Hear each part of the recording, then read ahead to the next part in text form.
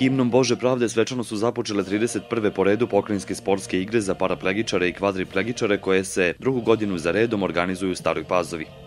Na ovakvim igrama pokrajinskim sam učestvovala već jedno osam puta do sada, dok su održavane i u Novom Sadu i ovde u kući sporta, odnosno u kući futbala.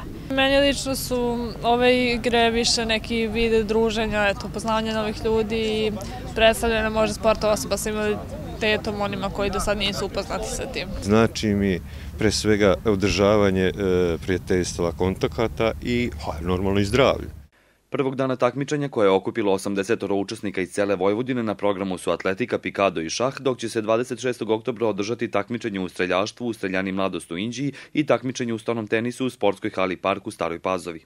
Ove godine sve to lakše su tu ljudi koji su prepoznali i prošle, prethodnih godina, znači pre dve godine, te naše aktivnosti i prosto su odma izašli u susret i ono sve što smo odradili pre dve godine samo smo praktično ponovili.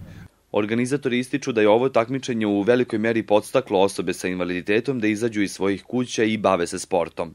To se toliko produbilo da znači e, su, su ljudi počeli ozbiljno da se bave sportom baš e, e, znači potekli su iz ovih igara. Ovaj Znači, evo sad smo bili svedoci u Riju da su ljudi sa, osobe sa paraplegijom osvojile devet medalja. Znači, stoni tenis, streljaštvo. Ovaj. Tako da, da, da, da o, o, ovakva jedna manifestacija e, izrodi, znači, profesionalne sportiste.